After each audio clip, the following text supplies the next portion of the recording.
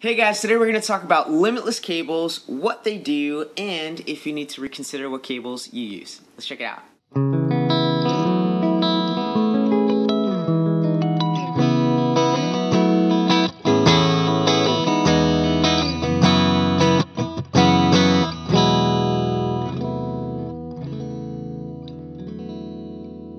So here I have the Onyx Premium Instrument Guitar Cable with low capacitance. So this beast of an instrument cable has extremely low handling noise, it's a high quality low capacitance cable, it has Neutrik gold connectors, maximum conductivity, corrosion resistance, and it's super durable with the TechFlex. So right now they're selling at around 75 to $80 and you can pick if you want 10 foot, 20 foot, right angle, or straight. So I actually wanted to hear this for myself and I compared the limitless cables to two other cables, the CNZ Audio and, of course my favorite, Kirlin cables.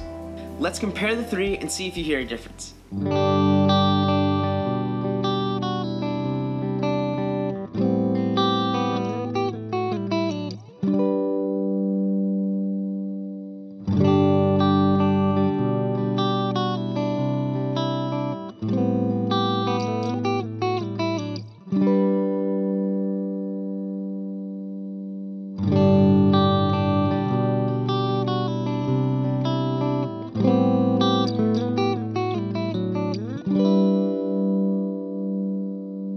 So, depending on your experience, maybe even depending on your device, if you have headphones or not, you may have said, wow, that sounds exactly the same, or wow, I heard a subtle difference.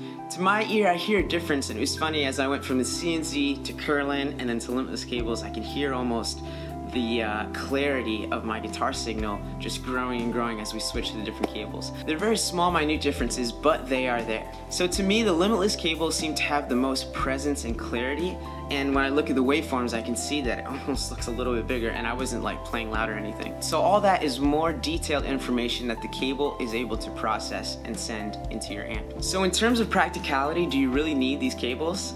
Well, the answer is no, you don't need these cables to play guitar, run through an amp, record music, play with a band. This pretty much all goes down to preference and context. I'm more and more realizing that quality will bring you farther than you think.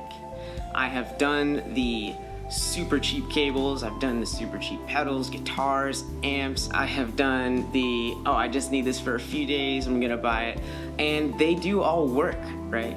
But the thing is, how long will they work for? Just like anything else that you do and you start progressing in, you'll start looking for quality products or quality assets that will help elevate your job, your career, or just your musical hobby. And so I truly believe that's what these cables are for for people who are either professional or they're really into their musical hobby and they want to take it to this level of consistency and quality. And honestly, there's no shame in that. If you guys have the budget, if you guys have the desire, that's something that you can do and that's something you can take pride in.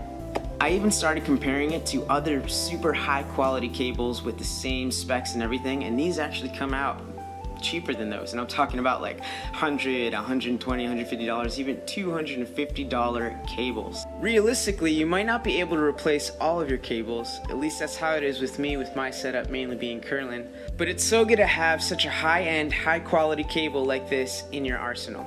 So if guitar cables are your next frontier in the pursuit for quality, check out the Limitless cables. They will not disappoint and I promise you, they will get you there.